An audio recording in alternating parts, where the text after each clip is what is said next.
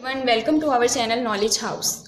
आज जो टॉपिक हम डिस्कस करने लगे हैं, वो है क्लासिफिकेशन एम्स एंड प्रिंसिपल जैसा कि आप सबको पता है कि अर्थ पे डिफरेंट टाइप्स ऑफ़ ऑर्गेनिजम्स पाए जाते हैं, जिसमें से नॉन ऑर्गेनिजम्स हैं ten million out of ten million organisms two million organisms ऐसे हैं जो कि साइंटिस्ट ने स्टडी किए हैं, जिसमें से एनिमल्स की रेशो है 1.5 मिलियन और प्लांट्स की रेशो है 0.5 million way of living different होता है, जैसे कि कोई लैंड पे रहता है, कोई पानी में रहता है, कोई चलता है, कोई उड़ता है इस तरह इस बेसिस पे साइंटिस्ट ने लार्ज कलेक्शन ऑफ़ ऑर्गेनिजम्स को क्लासीफाई किया into groups and sub groups जो नेक्स्ट टॉपिक है हमारा, वो है aims of classification aims of classification में दो बेसिक चीज़ें हैं. First one is taxonomy second one is systematics taxonomy क्या है? टेक्सोनमी है जिसमें हम ऑर्गेनिजम्स को क्लासीफाई करते हैं डिफरेंट ऑर्गेनिजम्स को। जबकि सिस्टमेटिक्स क्या है सिस्टमेटिक्स में हम डिफरेंट ऑर्गेनिजम्स को क्लासीफाई करते हैं, लेकिन हम साथ साथ उसकी एवोल्यूशनरी हिस्ट्री भी देखते हैं कि वो किस बेसिस पे इवॉल्व हुआ था जिससे हमें उनकी स्टडी में हेल्प होती है।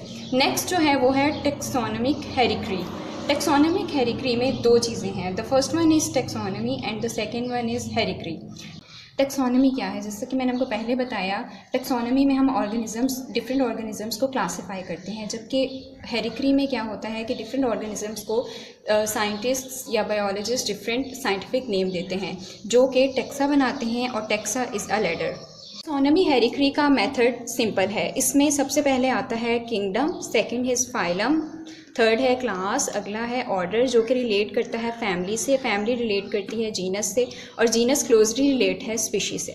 इसके हमारे पास दो एग्जांपल्स हैं। The first one is human और सेकंड वन है पी जैसा कि ह्यूमन लार्जर एनिमल्स से बिलोंग करता है तो इसमें इसकी सबसे पहले, इसकी किंगडम है एनिमेलिया, इसका फाइलम है क्वाडेटा class Mammalia, order primate, family, Hominidae, genus, Homo, species Homo sapiens जबकि इन केस ऑफ़ पी, जैसा कि पी एक प्लांट है तो इसका किंगडम है प्लांटिया, इसका फाइलम है मैग्नोलियोफाइटा, इसकी क्लास है मैग्नोलियोसाइडा, इसका ऑर्डर है फेबुलस, इसका फैमिली है बेसी इसकी जीनस है पिज्म और स्पीशी है सेटिवम नेक्स्ट हेडिंग है basis of classification basis of classification में बेसिकली ऑर्गेनिजम्स का आपस में रिलेशनशिप देखा जाता है।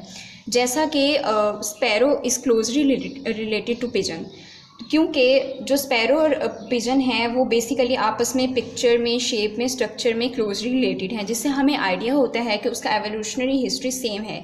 यानी बेसिकली उनके इंसिस्टर्स भी सेम थे।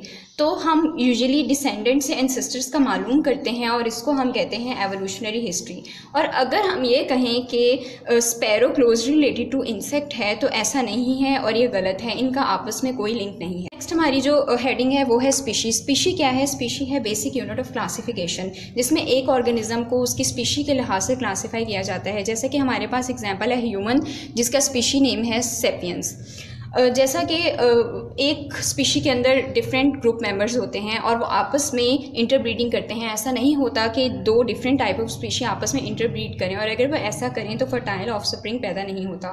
हमारे पास एग्ज़ाम्पल है, अगर हम मेल डोंकी को फीमेल हॉर्स के साथ इंटरब्रीड करें तो जो हमारे पास ऑफ़ स्प्रिंग आएगा वो म्यूल होगा और वो इनफर्टाइल होगा। दैट्स वाई हम टू डिफरेंट स्पीशीज़ को आपस में इंटरब्रीड नहीं करते।